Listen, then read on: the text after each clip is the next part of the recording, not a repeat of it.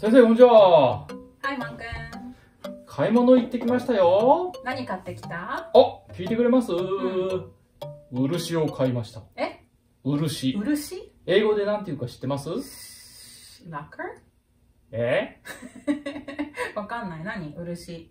えー英語でわからないですか？何ですか？まあ僕も知らないですけど。そういう無茶ぶりをする。えうの、ちゃんと言ってないてよ。漆ってなんて言うんですか、先生。うるさいな。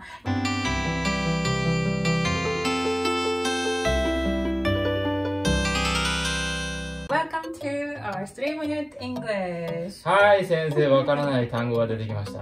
はい、僕皆さん。教えてください特殊なやつなんだよね。はい。多分ラッカーとか言ってまし漆たは、うん漆じゃない後でですか？ちょっと調べてみますね。あーかっこ悪い。ははい、かっこ悪い。今日のフレーズ何ですか？今日はこちら。あ I、そうそうそう。ね先生、僕、漆買ったんなんでだと思います？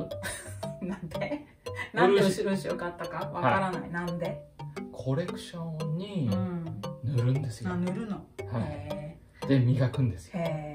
今日のフレーズですね。I want to kick back. くつろぎたい。くつろぎたい。キックはキックするじゃん。キックする。はい。キックして、はーって感じ。うーん。くつろぐ感じじゃない？リラックスする感じ。まったりする感じキックっていう。かなんかこう、戦うって感じしますでもキよね。ックして、はーって感じ。バックに。キックしてこう後ろに持たれる感じって思えばイメージしやすいかなと思うんだけど、まあ、そういう風に覚えたらいいって感じですね。うんうはいうんじゃあ、このフレーズを使った例文ですか？お願いします。Example 1 A What's your plan for the weekend?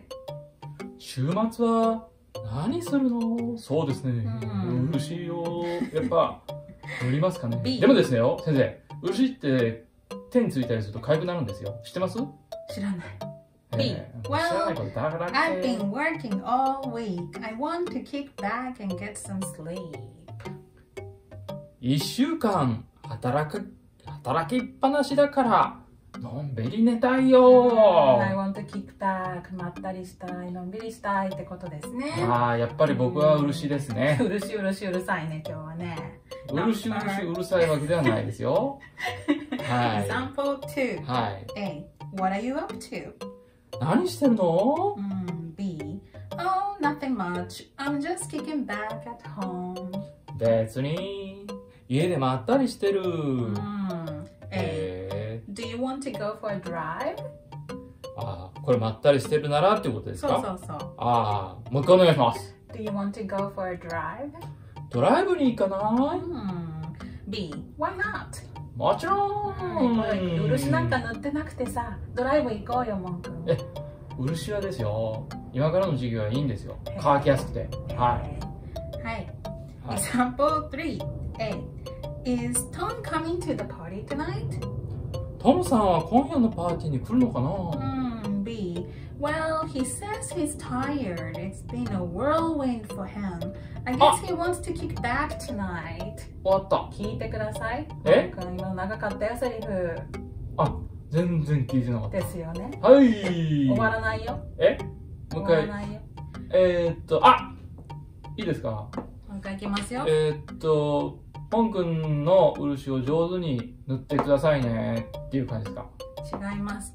B. はい。Well, he says he's tired. It's been a whirlwind for him. I guess he wants to kick back tonight.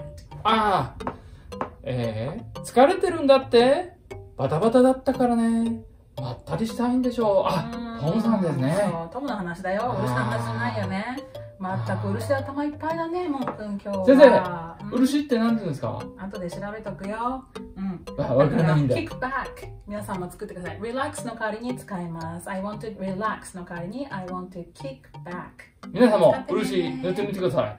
Okay. 手につくと痒くなりますよ。Thank you for watching. 気をつけてくださいね.さよなら今日は漆の日でした。